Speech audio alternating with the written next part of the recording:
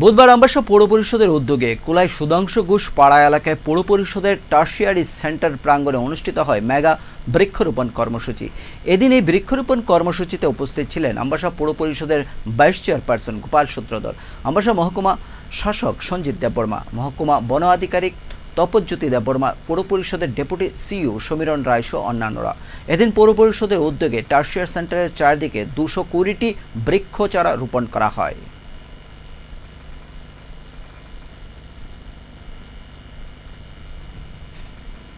আপনারা জানেন বিশ্ব পরিবেশ দিবস পাঁচ জুন, সবাই লাগায় গাছ। তো আমরা এই দিনেই লাগিয়েছি।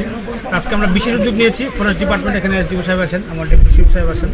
তো আমরা বিশেষ উদ্যোগে আজকে আমাদের কুলাইতে আমবাসা মিউনিসিপ্যাল কাউন্সিলের যে টার্সিয়ারি সেন্টার আছে, এখানে আমরা প্রায় দুশো বিশটা গাছ আমরা আজকে লাগাবো। মেগা বৃক্ষরোপণ আমরা নিয়েছি।